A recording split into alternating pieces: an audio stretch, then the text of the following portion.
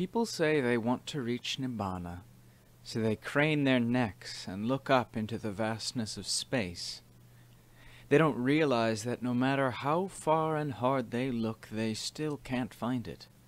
It simply isn't within the realm of conventional reality. River and Ocean Rivers flow inexorably towards the sea, each with its own name and state of being. Once emptied into the vast ocean, however, the waters merge into one essential element and the rivers lose their individual identities. The river water is still there, but it no longer has separate characteristics apart from the ocean. River and ocean are neither the same, nor are they different. In a similar way, Mae Chee Kaew's pure essence of being had merged into the boundless ocean of Nibbana. The essence was the same, it had not changed but it was indistinguishable from Nibbana's essential element of pure Dhamma. And just as the river water cannot reunite with the stream, so the merged essence of mind can no longer link with past moments of consciousness that give birth to the illusion of self-continuity. Living in the timeless present, devoid of past and future, the essence does not reap the fruits of old Kamma or sow the seeds of new Kamma it no longer leaves the slightest trace to mark its existence. For days the enlightened essence completely absorbed Mae Chee Kaew's attention. The radiance of mind that she had valued so highly now appeared coarse and sullied by comparison, like dung next to gold.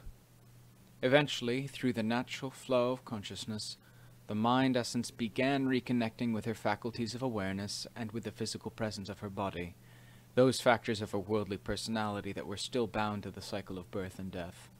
Mae Chee Kaew's conscious mind and her physical body were the surviving remnants of aeons of past karma, and they would continue to experience the consequences of those past actions until their disintegration at the time of death. Though all attachment to them had been dissolved in the great ocean of Nibbana, body and mind continued to function normally in their own natural spheres. But, because the mind essence was purified, each thought was an expression of freedom from delusion, and each gesture was an expression of enlightenment. Living in the world, but no longer of the world, Mae Chee Kaew's mind was untouched by mundane desires. Because her body and mind were results of the past Kamma that lingered on, she thought to unravel the fabric of her past existence to see where it led. Through the power of her divine eye, she began to reflect upon the lack of a beginning to the history of her former embodiment. She was amazed to find out how many times she had been born and how many times she had died, to see how many lifetimes she had spent traversing the immeasurable expanse of sentient existence. If the countless corpses that she had discarded along the way were scattered across the countryside, there would not be an empty stretch of ground left. Imagine the amount of time it took to be born and to die that many times.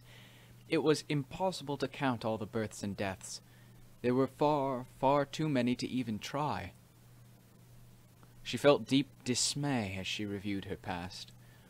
Why, being born into suffering so often, had she constantly endeavored to be born again?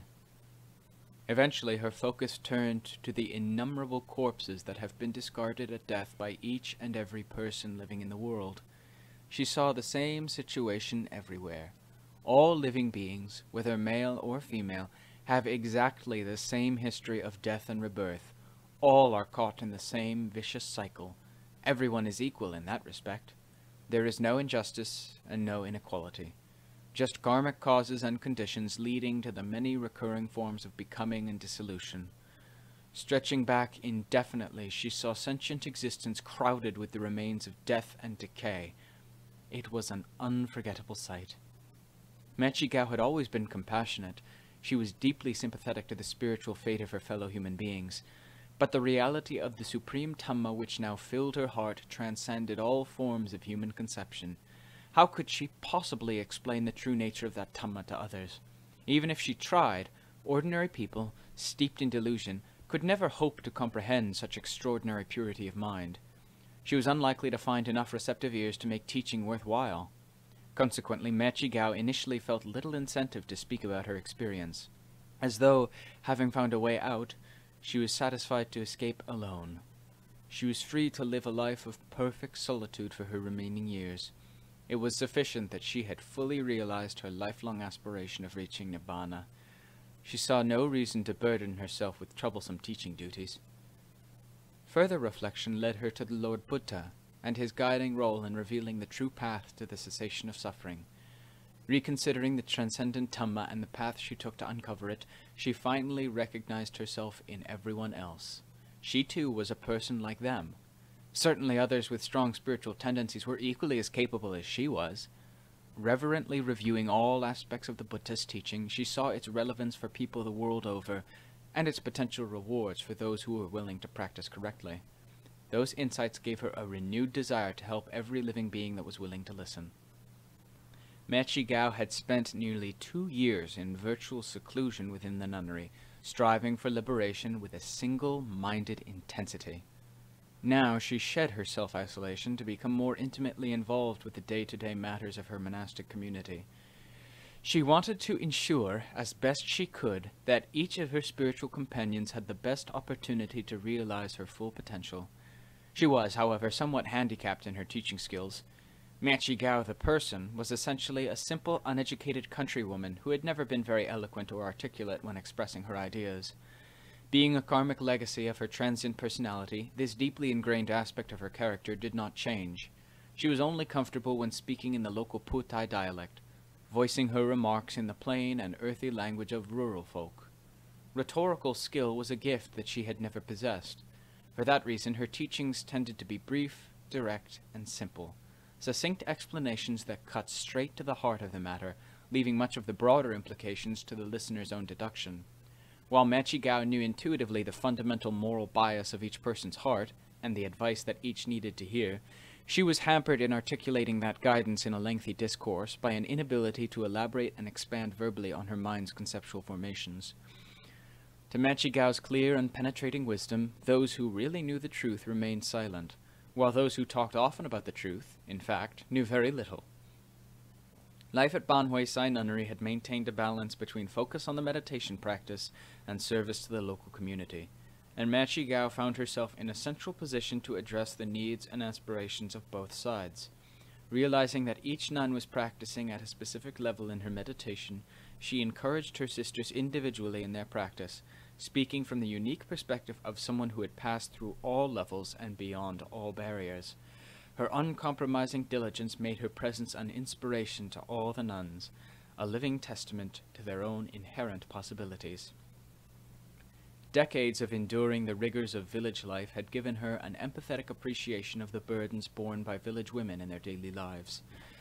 Now she advised them on the smallest and most mundane matters with simple, homespun wisdom, born of respect and mutual understanding.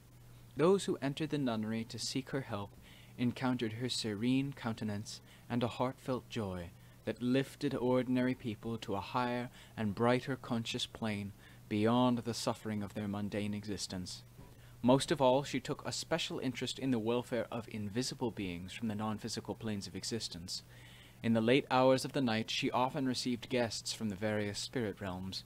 She ministered to ghosts and celestial beings in equal numbers, employing a fluency in silent dialogue that she had mastered from an early age. Because those discussions were communicated in the language of the heart, thus circumventing the constraints of verbal expression, her advice flowed freely, as unbounded as her pure love and compassion.